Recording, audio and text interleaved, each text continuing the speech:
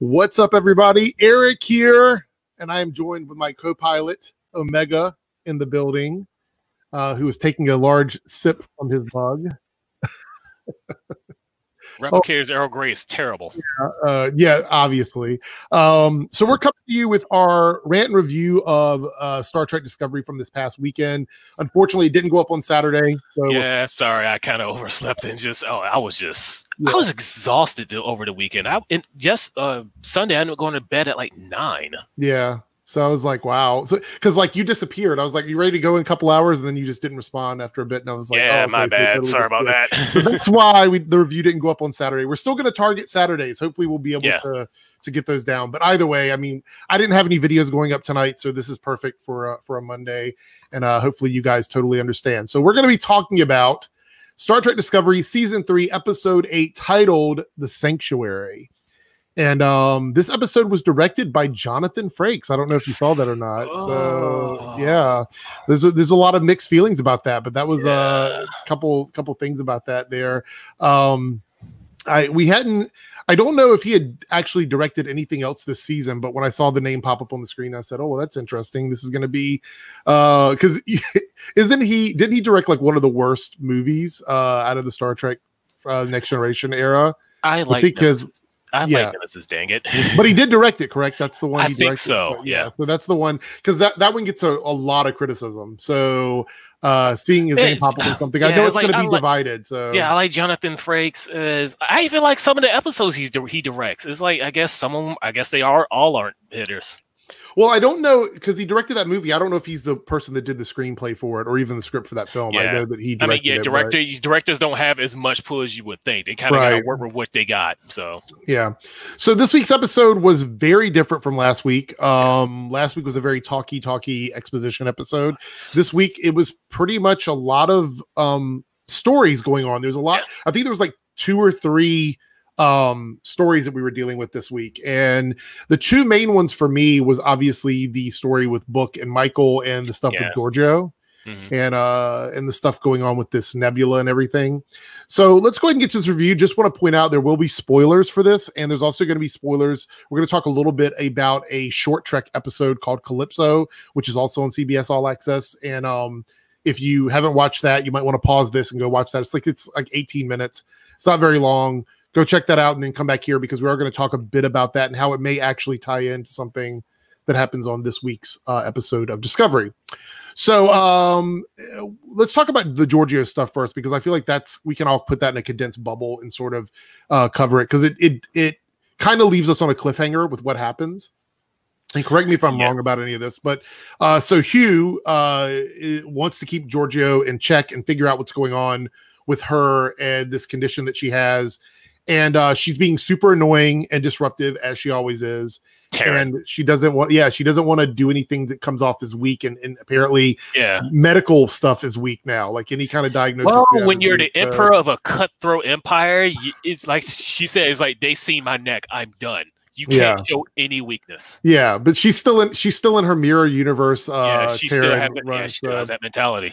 so they apparently they figure out that um something i think and and again you'll have to correct me if i'm wrong here she's got some kind of deterioration neurological situation where they're not totally sure what's actually happening to her but they know it's not good. Mhm. so they want to run or he wants to run some test on her and they they Excuse put her in this state where she goes into like a dream or a vision like when she has these episodes. I think the, the wasn't it the device forced one of the episodes to come on or something like that? Or were they just waiting for it to happen? I wasn't totally sure um how that was happening but were they just monitoring her when one of her episodes happened or did they force her into an episode I think they were just monitoring her when it when it happened, and then that's when they detected all the yeah stuff that was going on with her. And I'm not sure if you want to go to this point yet, but the weird how she was being distorted and all that. I don't know if that was caused by the device or was that just her being that she's not from this universe. I I'm totally like you. I'm confused on that. I don't really know what's actually happening, but I think that's on purpose. Mhm. I think we're supposed to be Yeah. questioning that. Uh, but what we get is we get these weird dreams or visions that she's having, and I don't know if they are flashbacks of her life in the Terran Empire or if this is something that's new to her. I, am not totally sure what's going on, but she yells out the name San or San or something, and I'm not mm-hmm. sure who that character is either. And we see blood in this vision and, and all this other stuff going on, and, and it looks like it comes from like when she was younger. Like I'm totally, totally confused on what's happening here. Do you have any theories on what we're seeing? Is this her backstory yes. or is this a vision of something else? Like I think, yeah, you- I think I think this is her backstory. I think uh, that you know, she always says, I, "I've ki- I killed my mother. I killed my mother." No, I think someone else did, and she got traumatized for it. But once again, being the Terran Empress, you cannot show any of that. That you can't show any of that uh, emotional weaknesses. It's probably something where, like, what happened to your mother? Oh, I killed her. I'm I'm Empress now. So one of the theories I saw online, and this is probably not going to happen. I just want to tell you guys, this is again anything when it comes to online theories, just take it with a grain of salt or whatever. Uh, but one of them is that she is slowly becoming the Georgiou from this universe. Like she's being replaced with the with the she's losing some sort of memories. quantum entanglement type thing where it's like yeah. she you know, there's the you know the mirror universe and prime universe, and they're just sort of sort of merging into yeah, one. that's what they're that's one of the online theories that she could be becoming that I would not disagree. from this universe. So I wouldn't disagree. Yeah, so it's kind of interesting, and that was even circulating before this episode happened. A lot of people thought that was eventually going to happen because let's be honest here, there's really no way to redeem her character. I mean, oh, she's oh, no awful, and there's no way to do that. I love um, her though.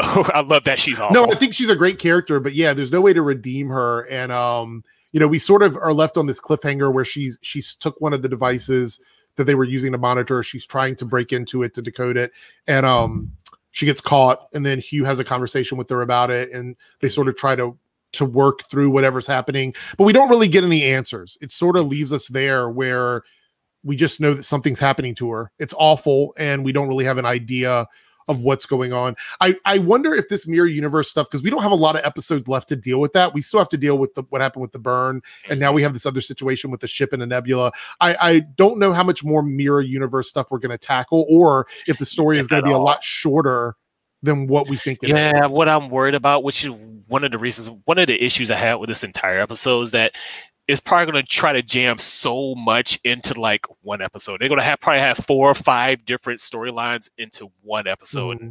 That's kind of the issue I had with this episode, being that it was practically three major situations that probably needed their own individual episodes merged into one show. Yeah it felt like in, in looking back at last week now it feels like last week a lot of time was wasted that, that some of this mm-hmm. stuff could have happened in last week's episode i feel like the stuff with Georgiou could have just happened in last week's episode we could have had mm-hmm. more time with that and then that would have given us less to juggle this week and yep.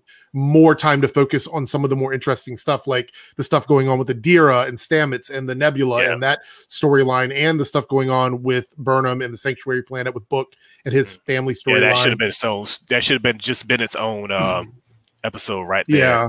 So let's talk about the stuff with Book. So we have to go back to his home world. Um, and this ties in with the Emerald Chain storyline that we've been building up with the season. Uh, we find out and I don't know if we if we knew this before, but during the burn, um, it caused the moon on his planet to shift, and the tidal changes forced sea locust. I think they were called sea locusts to yeah, come up out of their that. normal habitat and basically destroying crops on his planet. So before we dive into this full story and, and get into this, what did you think of the design of the sea locust? Because I immediately noticed they were pretty cool looking with the blue yeah. on them and everything. Um, yeah, like the special effects in this entire, even in the entire show, I have no real complaints about. Some of the, I have some questions on design choices being given the timeline, but not a that's uh, 900 years in the future. I don't care anymore. Just thrown out the window.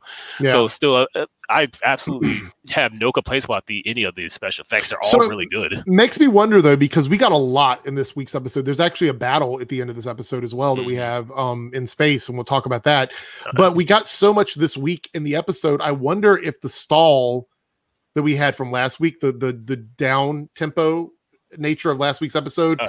was money that they didn't have that they had to invest this week for all the stuff that happened because there was a lot of um a lot of special effects uh in this week's episode compared to last week. So I wonder if that had a little bit to do with that. Uh yeah, you know. So basically um with the sea locust thing and the emerald chain is Osyraa. I don't know if her directly, but the Emerald Chain offered assistance to help with this problem. Um, by giving them a some type of deterrent for the sea locust to go away. But the only way they would give them this this uh, technology to help with this was by giving up all their trance worms on their planet. And so the people of the sanctuary rejected the offer, and uh, that's where we come in with the, the tie to the Emerald Chain in this week's storyline. And uh, what do you think about this species? Because apparently uh, Book's species looks humanoid, but they actually have empathic connections to the animals Oh yeah, of their drones. world. Yeah. Um, what do you think about that? Is that because a lot of people seem to like this storyline and they like these Mm, characters? I find it interesting. I kind of wish they would expound upon them more, but like I Yeah. said, it needs its own episode of exploring the culture like they would have done at TNG. But Yeah. whatever.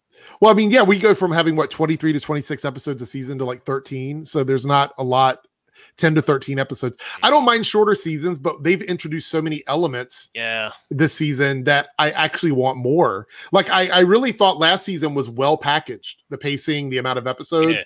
too This- bad it doesn't mean anything anymore. Yeah, but this season it feels like we have so many things to talk about Yeah, and not enough like, episodes. It's like now, it's now is getting interesting, but then they just condense everything. It's like, can we Yeah. go back to that thing? Uh, no, okay, we're done with. Oh, now we're going with uh, Michael Burnham Power Hour. Okay, Yeah. thanks. uh so we see at the beginning of this episode, so we have Osyraa there, and See, she I'll get it, Osyraa, Osiris, because Yeah. she's Orion. yeah, Eh? yeah. Come on, you yeah. you're not a fan of the name then, Osiris. Um, so she's punishing Tolo for basically what happened on the prison planet that they were on by feeding him to a trance worm. And um, I mean, that can't be the only reason they want trance worms, right? I mean, I feel like that's such a weird, like.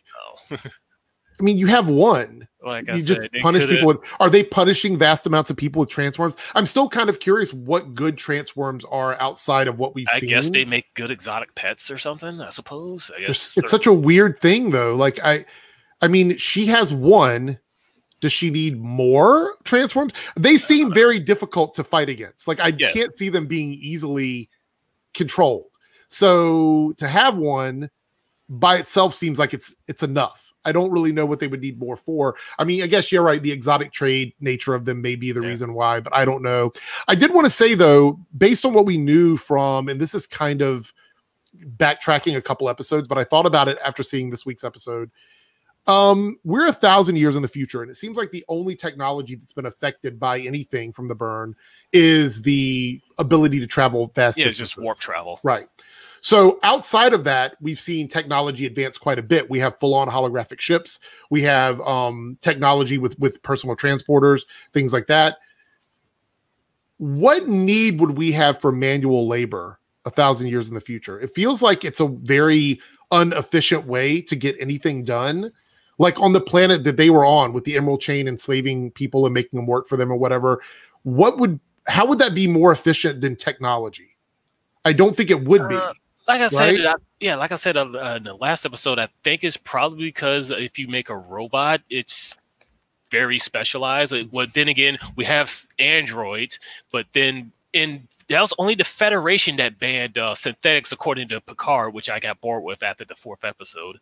Um, and then we have the holograms, which were from Voyager, and they were Mhm. using at the end of Voyager, they were using holograms to mine uh, the lithium out of asteroids. Well, that's what I'm saying. Like, I just don't see any reason for the Emerald Chain to have and it is not any like kind of punishment or enslaving of, of characters. I don't. I yeah, don't and it's not like uh Android. It's not like um any of these other feder. The, the Federation is like what a few dozen ships now. Who cares Yeah. about Federation law? Use and build androids all you want. Build synthetics. Build um, and the other thing is, if you if when you're dealing with um labor from androids or holograms or whatever it may be, you don't have to feed them. You don't have to keep water for them. You don't have to give them places to sleep. Like it just doesn't make a lot of sense from the standpoint of a thousand years. it's just a plot device at this point. It is, and I and I'm not too fond of it because I feel like it's such a weak plot device. I feel like there needs to be something more substantial for the Emerald Chain to be a thing.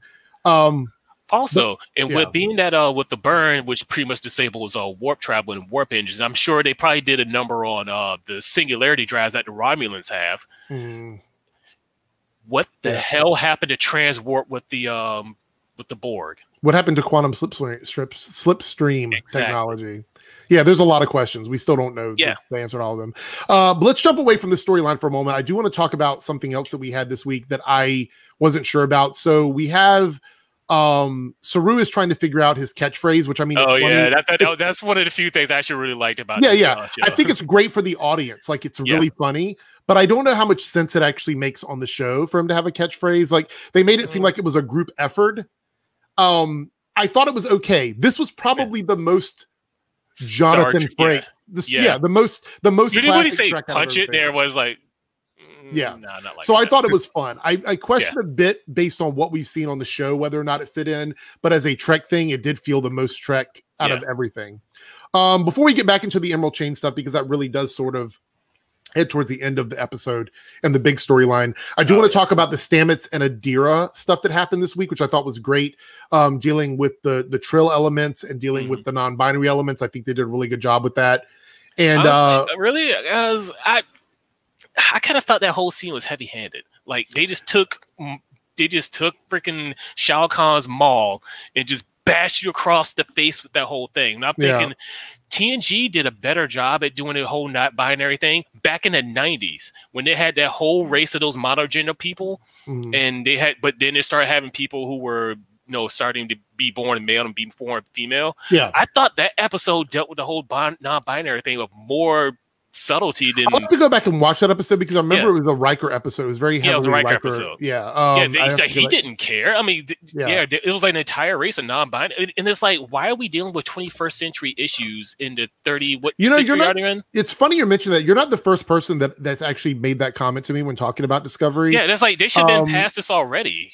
I feel like there's a lot of things that are outdated logically within their world. Mhm. Um, like Georgiou's reaction to Stamets and Hugh's relationship. yeah, Um, that was a little out. I mean, very I say a little, probably a lot outdated by standards of like just but then again, it's kind of like she's. Terran, and then she was like, in their universe, she, they they banged everybody. So Yeah. who cares? Um, I think that the the way we have to look at this is from the terms of um, uh, representation and inclusiveness within Star Mhm. Trek has been something that hasn't been directly addressed in a really long time. So I think what they're trying to do is they're trying to make sure that that we know. This sort of goes with with the whole idea of the of the um, the punchlines that that Saru was trying to come up with this Yeah. catchphrase or whatever. It doesn't necessarily totally make sense within the world, but Yeah. it, from the viewer standpoint, it's a way for us. yeah, I to understand why the they did it. I'm not like, Yeah. yeah. I'm not like, oh, why they have this non-binary? But, Like, nah, but I, care. totally agree cool with you. This should have been something that should have already was been so addressed heavy on the yeah, series. It was Yeah, just so heavy-handed. and there's a lot of people that were kind of trying to figure out um, the connection with the idea of the Trill, because the Trill as a symbiont, like uh, Mhm. as a, as a as a species, are already non-binary because they're they go, move from one person to another Especially without the joint will. They is they, you have the memories of being both male and female, Right. whatever their, So- their host was. So Yeah, so I think they're trying to tie that the idea of the non-binary character Mm-hmm. on the show and their journey with the journey of the Trill, and Yeah. then also having a trans um partner who is within the memory of the Trill as well. Uh I think for me, I'm ex- I'm excited to see that they're doing it in a way that sort of feels maybe outdated within what we're doing dealing with Star Trek, but connected to the world we're in. It does sort of make sense in that way. So Yes. I'm I'm glad that they are make taking note of it, and I don't think we're gonna have it in such a I don't know heavy-handed way in the future. I think it really yeah, was. Yeah, that was just my whole thing. It's just that one that one scene. I was I was totally cool if there being not whoop whoop. I'm sorry, if with that person being totally non-binary Mm-hmm. or whatever. I, I was totally cool with that. I was just like, you're really gonna bash us in the face? I also this? think we have like- to remember that that there's a lot of people that probably don't understand how to address someone who's non-binary. Yeah, So I think that they wanted to address that on the show in a way that that made it easy for people to understand. yeah. Like I said, it's just uh, I, they probably could. have Yeah. So we'll see where it goes from there. Yeah. But but I, I'm happy to see that they are moving forward with that storyline. It wasn't a throwaway thing. But the great thing is that Stamets and Adira have pinpointed what they believe is the the the origin point for the burn. And supposedly it is in this it's this nebula, the Verubin Nebula, I believe is what they called it. I, yeah, I couldn't remember. Um, the Verubin Nebula, and it sounds like something we've that we've seen before, we've heard about before, but I don't think it is. But they're getting this distorted signal coming from that nebula. And it ends up being the same melody that we've been hearing for a while now Yeah. throughout this, the episodes. This is giving me a flashback to like the Cylon Battlestar Galactica musical thing that happened in their final season. I don't know if you watched that show or not, but Uh, I watched a. I watched a good bit of it. I don't Mhm. remember most of it because it was so long ago. Okay, so I don't want to spoil what happens, but there is a song, a melody that Mhm. plays throughout the series. I don't even want to say what song it is because I want I don't want to spoil it for anybody. But basically, it all converges and becomes this like fully realized, um, perfect circle of elements that come from the song, and these characters come together because of it. And so I was getting a lot of like vibes from that, um, from that moment. But there was something that happened in this episode that I don't know if it was a mistake or what, but Stamets points out the fact that the melody um was the same melody that Dr. Addis, which was back on the seed ship, was tied to his family or that he was humming to his Mhm. family. But Stamets wasn't on the ship when when they did that. He wasn't on the away team, right? Was he? I don't believe so. I don't think he was. I don't remember. I think it was Michael Burnham. Yeah, it, was, it Burnham, was the it was other. Hugh, the Hugh, the doctor. Yeah, it was, yeah, it was Culber and, and, the other um, chief security with. yeah, I can't uh, remember her thing. name. I feel Yeah, bad now. I don't remember her name. Yeah, I, I like the character though. yeah like um i feel like there's so many crew like in all the other star treks we got to know the the, the bridge Yeah. crew much better in this show we're just slowly over time learning about the bridge crew yeah, I feel like we because they haven't for a probably got so much feedback from the last two episodes, from the last two seasons, where it's why is it just Burnham? yeah so uh but stamets wasn't there for that so unless hugh told him specifically probably- about that I suppose. I mean, they're it, married. just, anyway, it felt so- weird that he was the one to deliver that information. So um anyway, we are we arrive at that nebula and the distortion signal they again they distribute it's coming from uh this melody or whatever and it's from a Starfleet vessel, which is something that I think we kind of surprised everybody as well. And that's kind of where we leave off on that storyline, but a lot of um blogs were pointing to an episode of Short Trek which we talked about this earlier Oh yeah, from CBS All Access, the episode Calypso, which is a 18 minute, very like mini condensed story based in this universe. And it ties into a version of Discovery from a thousand years in the future. And it came out before season two, or would have been around the, the beginnings of season two. So I obviously they knew where they were going with the show. They knew where they were going with season two uh, already. So when they wrote this episode, they knew they were going to be going into the future. They knew it was going to be a thousand years in the future. But if you would have seen this before the season ended, you would have not known what was going on, which I think is okay. It's fine. Um, but in that episode, we're dealing with Zora, which is the intelligence within the AI of the ship that has evolved to a point where she's almost basically a, a human type character trapped in a digital world. We have this um this uh ship from a species that lives on Alderaan 4, uh character named Craft who is escaping from a species of aliens called the Vas Vassarin, I think was the name they used. It- anyway, it was a species that I'd never heard of before. I'd never heard of them. And so um, he's on the ship and he starts to bond with Zora, this AI, and she reveals that it's a thousand years in the future and she's been waiting there um, basically all this time for the ship to come in for the captain or the crew to come and retrieve her basically. So we talked a little bit about this before we started the, re- the review here. Uh what are your general theories on this? If this if this is a tie-in how would it work? I know you spoke to me about it but let's break it down a little bit for for everybody From what. I was thinking is like, okay, at the end of episode, at the end of season two, when they were going to just jump ahead, jump uh, ahead in time, I'm thinking maybe there was a split. Maybe the, this this discovery we know went off uh, to the uh, went off 900 years in the future, and maybe the other ship was left behind, or maybe it got split off in a different timeline. Yeah, because I the only problem with that is that the idea of taking the ship to the future was to take that AI out of Yeah. time. So if one of them was left behind, Oh yeah, control would end up getting it in. Right. Yeah, so that work. unless unless that ship was put somewhere else to hide it, Yeah. like a nebula. yeah, where it's you still like they it. had the pole position here. But then where's this? How does the song come into play with that? The the melody they're hearing, which is also very weird.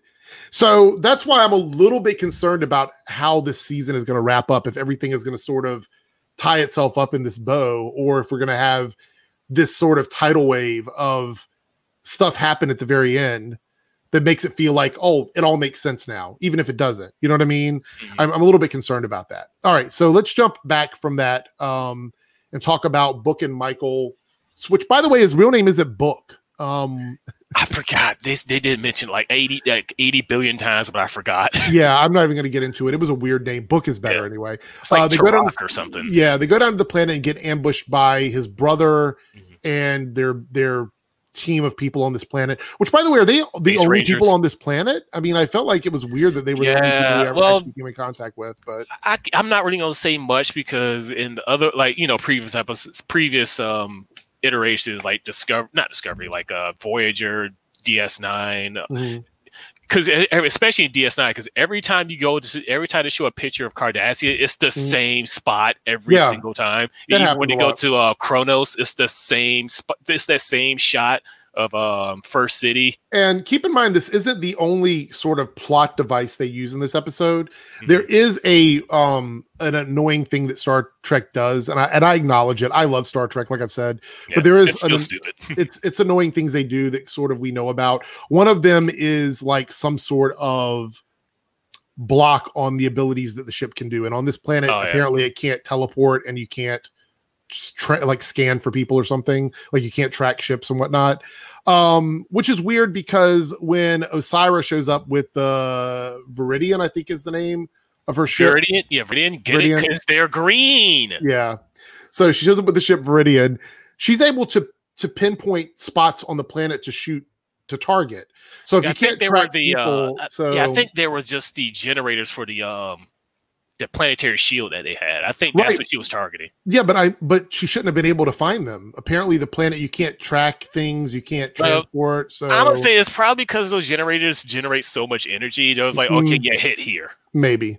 So we'll go along with that. But either way, this the the the idea for this planet, the the linchpin and everything is that you can't teleport people from the surface basically. So if you need to get them, you have to go down and get close enough to get them up off the planet surface with like a shuttle or something. So it's one of those things. There's always a an issue in a Star Trek episode. Either the caves are too thick, they can't transport through them, or there's a scattering field, or there's always something. So you get kind of used There's a to it. But I- certain ore in a rock that's preventing a, a positive line. yeah, you, you have to like you have to roll your eyes quietly when they do Mhm. stuff like this. Anyway, so that's the rules of this planet.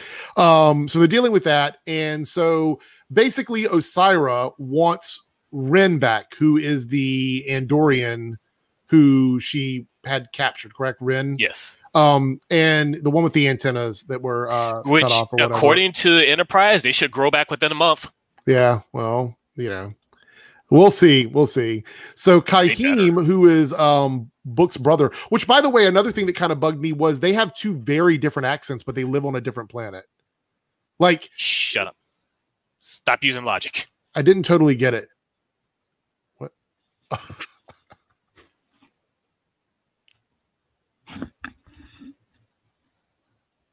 Stop using logic.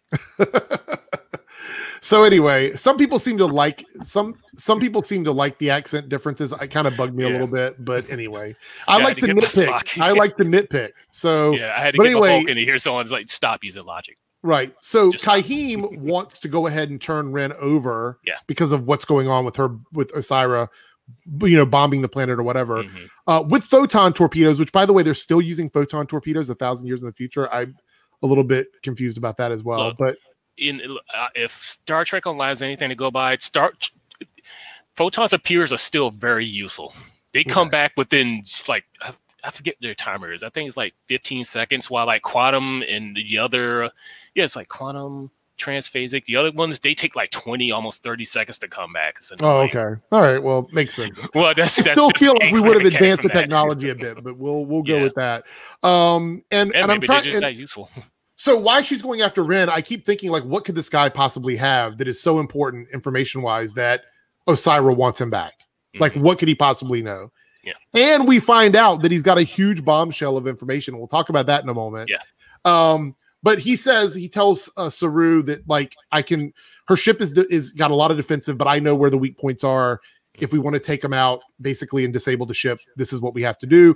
But then Saru's like, "Well, I don't want to start a war between this the the the fragile federation that we have Mhm. now because against the Emerald Chain. Nobody wants that.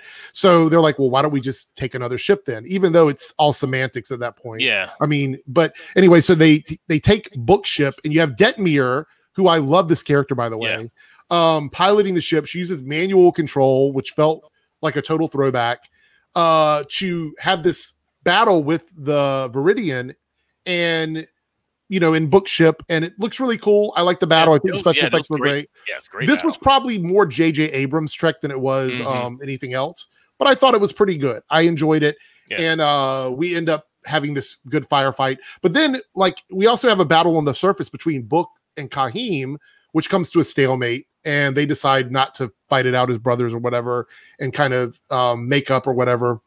But I guess the big bombshell at the end of this, after we, uh, you know, resolve all of these issues, is, is that the Emerald Chain, which has been sort of putting a stranglehold on the Federation because they've been able to go a lot of places because of their Mhm. dilithium, they're running out of dilithium. Yep. So they're not going to be able to do much of anything Mm-mm. soon.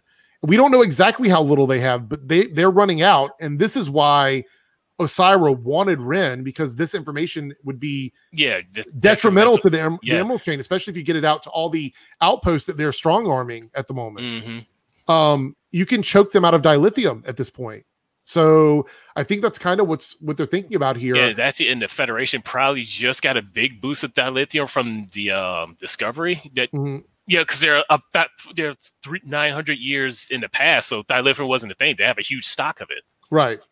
So, uh, which makes me wonder if time travel wasn't outlawed, people could just t- time travel and get dilithium and bring it back to the future if it wasn't outlawed. But it is, I guess, at this point. So it doesn't yeah, really and matter, if going but- by the temporal cold war of um, the Enterprise, yeah, okay, I couldn't remember the show. Yeah, going back to the temporal cold war, the Enterprise was anything Uh-huh. to go by. Uh, you don't really want to mess around with time too much. Yeah, yeah. So we got that going on. Um, and the resolution at the end, I think the the last thing that we find that we do is we amplify the empathic powers of books peoples Mhm. and use that to coerce Actually, I think it's just together. those two who are the space druids. Oh, is it? Okay. Yeah, I think it's just those two. Well, they they coerce the um the sea locusts to go back Mhm. into the sea and hopefully they can start harvesting things again and not be hurt or whatever.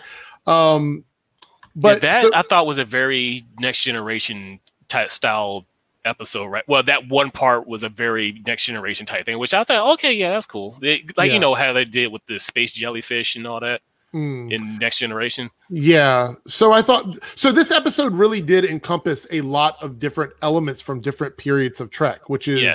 Which kind of each, interesting. if you ask me, each one of those elements should have been its own episode. They Probably. probably they probably didn't have the time. yeah. Uh so overall I think we covered a lot of stuff this week. Um the only thing was I I also saw some uh questions about the Orion slavery comment that Osyraa made. Yeah, and the thing here's the thing with the Orions. Does It's that like- call is that is has that been retconned? I think that was retconned. Uh, that, that's probably a retcon because the Orions is is actually the females who are the dominants of Right. the species, yeah. and it's kind of like they they put themselves into slavery to get the up To kind of like basically you think, oh yeah, this is just some Orion slave girl, whatever. Don't ignore her. But then next thing you know, you have a dagger in your back. She's taking over everything. Yeah, Or so you that put the da- comment seems Yeah. really wrong because Yeah. it doesn't historically we know that that wasn't that back in the original series we weren't Mhm. sure of it but then it got retcon later on so i thought that was a weird comment when i heard it i was like but were they really i thought that they were not but it's like they kind of put themselves in a weak position only to get the upper hand later on. right yeah. especially with the females that have that pheromones that just make all the males do whatever whatever they want them to do, and the females Yeah. of and, And the females of another species become Right. docile. if you're curious about what we're talking about go watch the cage from the original series um, and especially the I forget which episode it is, but it's a Enterprise episode where they, they get bumped, they get boarded by Orions. Yeah. Um, but yeah, the cage is the one where you we always you know whenever you see like advertisements for Star Trek, at least back in the day, the original Mhm. series, it always showed the episode with Kirk and the dancing green Yeah, alien great, or whatever. yeah, dancing green woman. Yeah, so that's that's what you need to go watch is, Yeah. is that episode. Uh so anyway, but other than that, I thought this episode kept me a bit more engaged than last week's episode. Yeah, Uh, um I but I still feel like it was kind of all over the place, but not necessarily in a bad Yeah. way. I just wanted more of each individual thing Yeah. that we were getting. And I I mean, is wanting more make it a bad episode? no, I don't know. Guess, yeah, I suppose not. It, well, in a way, it's kind of like they spent so little attention on it, but then it quickly went to something else. It's, it probably could have made for a bad episode, all in all. But Mm. Yeah, I yeah, it's like each individual parts weren't bad, but when they crammed it all, it's kind of like that one uh, movie, Jupiter Ascending, which everyone says this would have made a great three, like a three part movie, but being that it's all into one, it's kind of it's kind of crappy. yeah. Yeah, I remember that movie. That was an I wanted interesting I wanted to film, see that movie too, but everyone yeah. said it was garbage, so I was like, never. It's mind. worth watching. It's not absolutely horrible. Okay. There's some good elements to it, but it's not great. Don't go into it thinking it's great, but Okay. it's not horrible either. Um, all right. So on a scale of one to ten, um, what would you give this week's episode of Star Trek Discovery? Okay, uh, reminder like one for me is god awful, five neutral, ten amazing, not Okay. perfect but amazing. Me, right. I give it about a six. It was all right. Okay. it was cool. Okay. Um, what did you give last week's episode? I think I gave it out of five. So you like this one better than last week's episode? Yes. Um, Even though it's all over the place, I still like this better than Burnham Power because I know we had a big discussion. Last week's episode was tough to, to score for me. It was really, really tough. Um, I would say this week's episode, I feel like it's around a seven or seven point five for me. Okay. Um, I don't necessarily think it was much better than the previous one, but it was more engaging for me. Yeah. I felt like it was. I I was more interested in the stories, whereas the the episode prior to this felt like looking back at it now like it's weird because i don't want to retcon my score but looking back at it now i think this one was just more entertaining in my opinion uh i think they tried to be more i don't know I, don't- what's the word i'm looking for with the, the previous episode unification 3 they were trying really hard to do one of these like sort of like yeah. um Philosophical, make Yeah. you think episodes when it really like was not. like pseudo metaphysical like Mhm. just weird thing Yeah, and it didn't really work for philosophical. me. Yeah. Yeah. It didn't really work for me. It was it was a lot of stuff. This one was a little bit more entertaining, but I don't know if it was much better. I I just feel like it was more engaging. So I'm gonna still not give it anything higher than an eight. I don't think it was worthy of anything more than that. Uh, we've had some great episodes this season. I, some Yeah. of the reviews I was reading for this season says that we've had some of the best episodes the show has ever had Yeah, and we've had some of the worst stuff that's happened that we've Yeah. ever had. So it's a mixed bag this season. of- I have to say, even the episode with um when, when they first meet Ardra and they go to um not not that Ardra, Art the Trill lady, Ad- the Trill person. Adira, Adira, Adira. Yeah. Ardra was someone else. TNG. Yeah. Senatal, Adira, yeah. yeah uh, when they get um when they get uh, that person and then they go to the Trill home world i actually thought that was a very good episode i would have rated that about an about an eight or 7.5 Would, would you say that was your favorite one of the season? yeah that was probably one of my favorite episodes Okay, I agree with you. I really like the enjoyed that episode. i really think Yeah. the Trill are interesting I thought it was great because I'm like, this felt like we were actually finally dealing with some classic Star Trek stuff. Mhm. I do have a question before we go, and we're and I'll probably ask this every single week until we until we get an answer for this. Sure. What happened to the Klingons? Where are they at in this future? I can't imagine that that whole like every Klingon just disappearing and letting the i was wondering that too we have the prob- Andorians, we have the Orions, we have some people in the Federation. Where are the Klingons? They probably are trying to figure out how they're going to how are they going to fix the Klingons to begin with because even though I didn't hate the, those Klingons, I hated how they looked. I was like, Mhm. okay, they are acting like Klingons, but they do not look anything like the Klingons. If there were any other species besides Klingons, I was like, oh, these guys are kind of cool. I wonder how they would act with, with the Klingons. Like, you know, with the Jem'Hadar, I want to see like the Jem'Hadar, the Klingons fight. That'd be cool. And are we still in the Alpha Quadrant? That makes me question whether or not we're still in the Alpha Quadrant. Because I don't really know where well, we are. Earth was, of course, zero one. Well, Right. ze- yeah, because quadrant zero one, and that's kind of like on the line between the alpha and beta quadrants. Uh, I, I don't. I- they don't have a real. It's a gray galaxy area map. right Yeah, now. It's they don't have a galaxy area. map, so I have no Yeah. idea. Um, what happened to the Hirogen? What about the Undine? Where are all these races at? Oh yeah, where's species eight four seven two? Where What the happened to what happened to the rest are of the the Borg? Borg? I want no, I want to see the up. I want to see it up because they did make the and the Andorians look a bit different. I want to see an updated Cardassians. The Yes, I would love Cardassians are my that. favorite race in Star Trek. I Oh, want to okay, see well, updated Cardassians. I will say this though. I want to know because as far as I know, the Borg would have adapted to losing dilithium. They would have adapted somehow. trans warp. I know. They didn't. I don't even think they used dilithium. I'm sure someone in the comments is going to correct me So on let me that. say, but, yeah. I've been watching Voyager back, and I was actually on the episode where the Borg.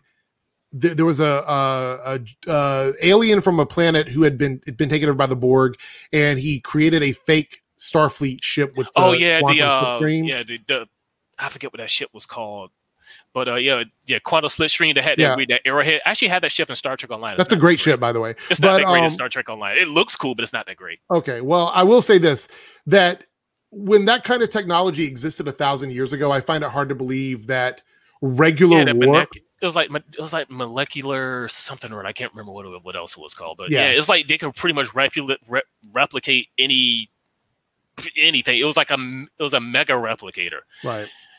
And that was almost a thousand years past, and they couldn't come up. So I'm curious to why losing regular warp would affect the Federation in such a way. Yeah, I hope we get an answer to that. Because Yeah. I do I think it's a good storyline, but I question yeah. They Whether or would, not I losing figured they would have came up with something problem. else besides warp. Yeah, yeah, absolutely. All right, so I guess that's where we're going to wrap this up. You guys, out in the comments below, let us know if you agree with our scores, and if you disagree, tell us why, and leave your score down below.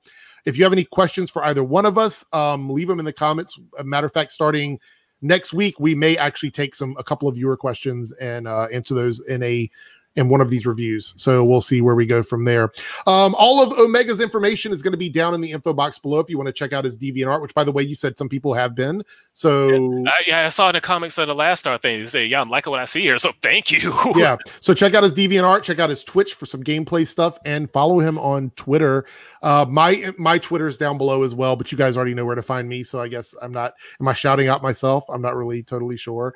Um, subscribe if you're new to my channel. Leave a like on this video, and if you're enjoying the Star Trek content, let us know. We will continue to do Trek talk even after Discovery has ended its season because there are so many Star Trek topics we could cover, and we could probably have some special guests on. So if you guys are interested in that, and you have any specific topic you would like to talk to with us about, uh, drop your name in the bucket, and uh, we will start pulling some names out at the end of the season of Discovery. And I actually can't wait to review like um, some of these other seasons in a full, like Picard and Lower Decks. So you can let me know what you think about it. So we'll go from there. Anyway, we're gonna wrap it up. Thank you guys so much for checking out the video, and we'll catch you in the next review. See you then.